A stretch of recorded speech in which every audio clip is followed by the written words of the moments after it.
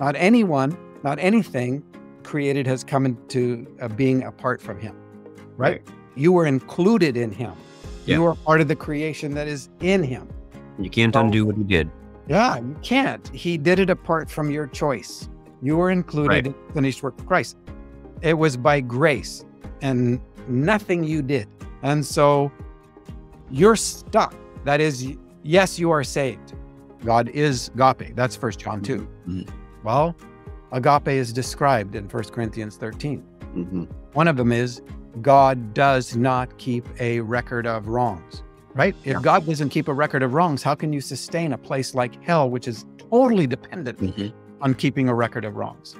For more conversations and information on the nature of God, your power of choice, and much more, join us on KingdomTalksMedia.com and ChoiceCommunity.org.